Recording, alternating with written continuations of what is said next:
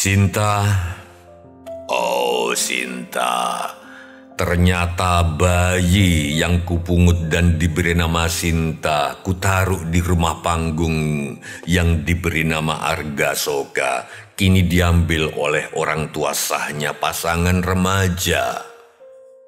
Disertai aparat polisi yang dikawal oleh lima ratusan aparat dan aku dimasukkan penjara. Seorang sipir penjara yang leher pendeknya mengingatkanku kepada Plato si tukang sayur memaklumatkan namaku adalah Rahwana. Itu nama narapidanaku.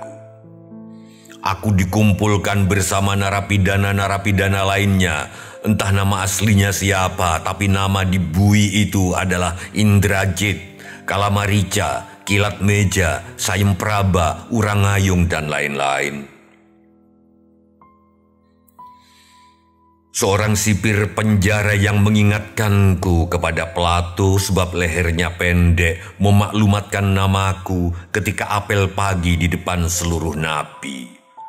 Napi adalah cara mereka menyingkat narapidana atau wabin warga binaan. Hmm.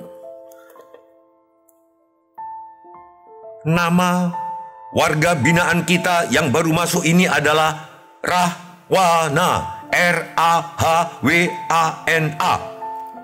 Kata petugas sipir dengan toanya. Sontak semua berteriak mencibirku. Huu, huu, apa iku Rahwono? Ah, Rahwanco, ah, apa iku Rahwono? Bos sipir, aku Indrajit nih, bos. Anak Rahwana nih, bos.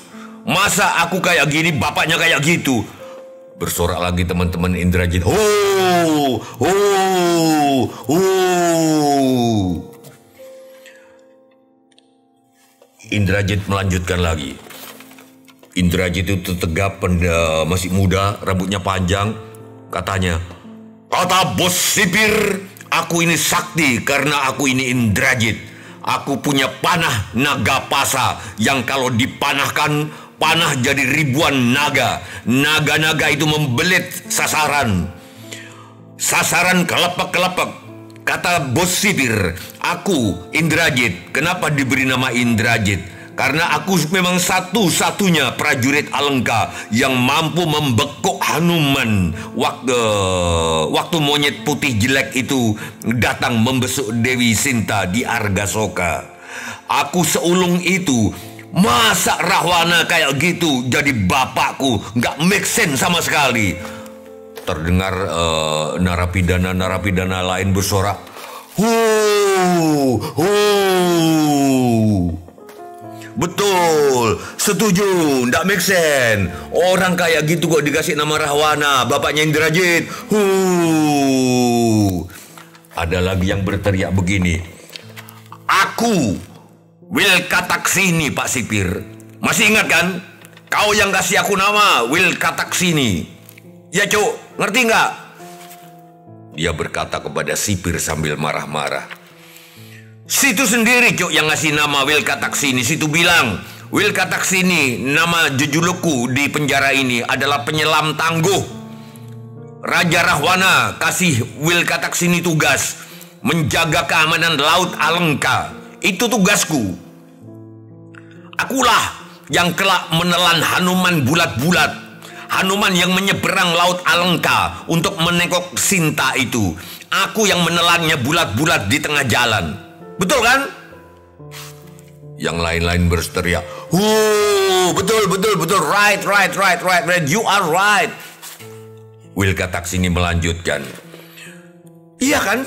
Situ sendiri Pak Sipir yang memberi aku nama Wilka Taksini. Situ cerita gitu juga ke aku kan Pak Sipir. Nah, kalau keras sakti sebesar Hanuman saja bisa kutelan bulat-bulat. Apalagi cuman orang yang eh, baru kamu kasih nama Rahmana ini. Oh, pasti ketelan, pasti ketelan dengan gampang. Teman-temannya bersorak-sorak. Anoman saja kamu telan, apalagi cuma laki-laki peot yang baru datang itu. Bagi gampangnya kuda Nil menelan bayi manusia, cok. Ho! Ada lagi yang berteriak. Aku, Kalamarisha. Pasipir yang ngasih aku nama. Bisa ku ubah bentuk diriku menjadi apa saja. Apa ada di antara kalian yang tidak kenal aku?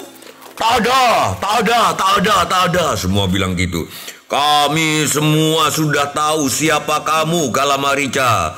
Kamu bisa jadi lalat. Ya, ya, ya, ya, ya. Kamu bisa jadi lalat, lalat, lalat, lalat. Kamu bisa ca jadi cacing. Ya cacing, cacing, cacing. Semua berteriak gitu. Kamu bisa jadi ular, ular, ular, ular, ular. Betul atas perintah Raja Rahwana. Kamu, eh, eh, Kalamarica bisa malih rupa menjelma kijang kencana di hutan Dandaka. Betul, betul, betul, tul, tul, tul, tul, tul, tul. Tul-tul-tulnya warna, tutul-tutul warnanya perak kecoklatan kijang kencana itu. Dewi Sinta bisa kamu bikin sampai ngiler. Uh. Eh, Pak Sipir, ada juga narapidana lain yang bilang gini, koreksi ya. Kalau aku, kalau dia sebagai Kalamarica dan teman-teman dia salah, soalnya cerita itu kan sumbernya dari Pak Sipir sendiri. Ayo, ha? Ha? Ha? Uh, eh, calon Rahwana. Mereka menengok kepadaku Sinta yang dijuluki Rahwana. Eh, calon Rahwana. Hei, calon Rahwana. Hei, calon Rahwana. Kata semuanya. Sekarang kalau kamu pantas menyandang nama Rahwana, tes dulu. Apa kamu memang pantas jadi Rahwana? Apa becus kamu mengubah-ubah wujudmu lebih banyak daripada malihan wujudku si Kalamarica? Bagus. Baru saja kamu mengubah wujudmu jadi pengemis tua rentah, hai Rahwana. Bagus. Itu sangat meyakinkan. Hah? Aku tak mengubah, aku tak mengubah wujudku apa-apa. Kenapa dia barusan melihatku seperti pengemis tua yang merebut Dewi Sinta di hutan dan daga? Baru saja aku menjadi pengemis tua renta. Hmm. Aku heran. Rasanya barusan aku tak memalihkan wujudku menjadi pengemis tua. Mengapa Kalamarica merasa baru saja melihat sosok pengemis tua pada diriku? Baru saja seluruh napi juga mengernyit-ngernyit memandangku. Ada apa ini? Wah, Rahwana, barusan yang kau tampakkan itu sangat meyakinkan, wahai calon Rahwana. Sekarang hayo calon Rahwana, ubahlah dirimu menjadi burung Garuda. Hayo, sekarang aku harus menjadi burung Garuda. Baru saja aku menjadi pengemis tua padahal aku tak menjadi apa-apa. Mereka berteriak lagi, Ayo Rahwana, ayo, ayo, ayo. Calon Rahwana tepatnya. Hmm, karena kami belum mengakuimu sebagai Rahwana.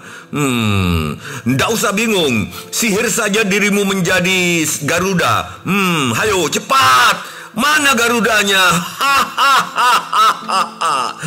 oh, ternyata kamu tidak bisa jadi Garuda, cok. Bisamu cuma satu jadi pengemis perubahan wujudmu lebih uh, perubahan wujudku sebagai kalamarica lebih bervariasi bisa menjadi cacing bisa menjadi kecoa bisa menjadi lalat sampai menjadi kijang kencana yang nanti di hutan Dandaka Dewi Sinta terkiul-kiul meminta suaminya untuk memburunya kamu cuma bisa jadi pengemis uh, aku bermacam-macam itulah aku kalamarica ya kalamarica kalamarica kalamarica semua seisi bui ber berteriak-teriak, kalah Marica, bravo, bravo, bravo. Hmm, hmm, hmm. Aku tak sudi punya raja yang tidak lebih bervariasi dibanding aku. Kamu bisanya cuma jadi pengemis. Hmm.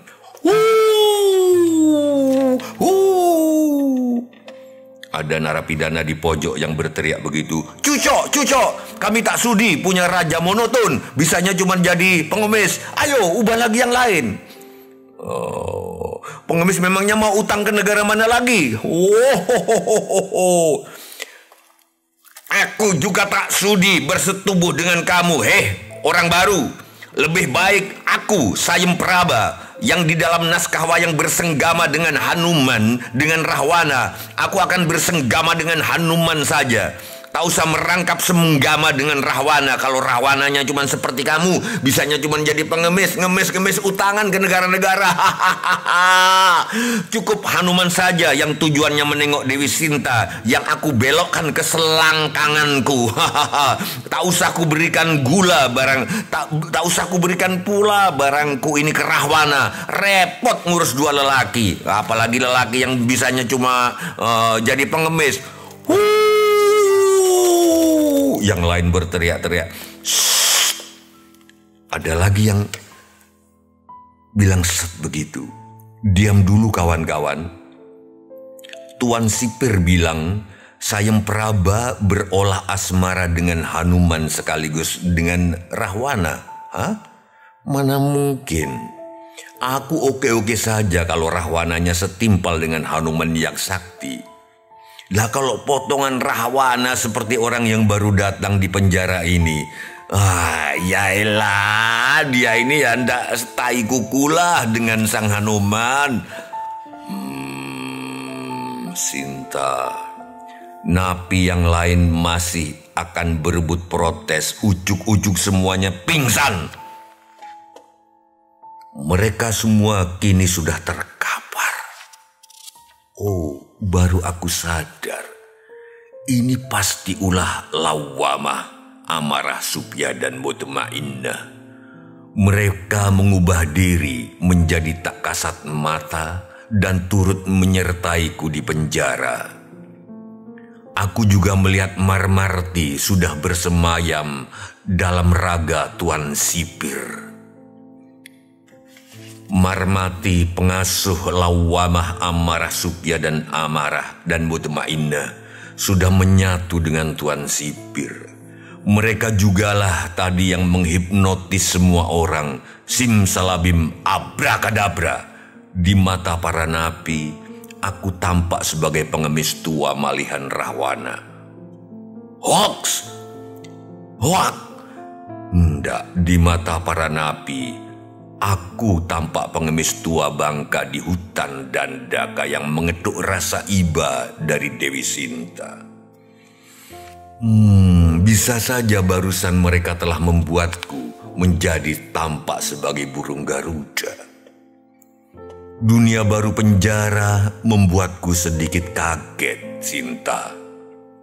Sampai-sampai aku lupa. Oh ya, Wax itu kata dalam mantra atraksi sulap abad ke-18. Artinya menipu atau tipuan. Hmm, supaya kamu tahu. Oh, abad ke-18 sudah ada istilah hoax yaitu untuk di dalam mantra sulapan. Sebelum jadi simsalabim abrakadabra, dulu namanya hoax. Artinya tertipu kau.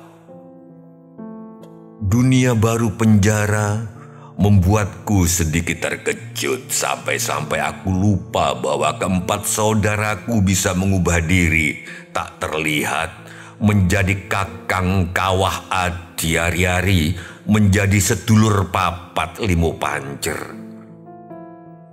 Mereka pasti menyertaiku ke mana aku pergi karena tak tampak Aku lupa berpesan kepada mereka agar tak berbuat sembrono di luar perintahku. Membolak-balik mata mereka, mata Indrajit, mata Kalamarica, mata Sayem Praba sehingga tiba-tiba melihatku sebagai Garuda dan mereka semua pingsan. Menurutku itu terlalu gegabah. Terlalu sembrono Ibarat membunuh nyamuk dengan meriam, nyamuknya pasti mati. Efeknya ada. Seka, tapi itu berlebihan. Sekarang orang-orang di penjara ini akan mengakui aku pantas berjulukan Rahwana. Tapi kenapa harus membuat mereka semaput? Sinta, maafkan perlakuan saudara-saudaraku yang melampaui batas.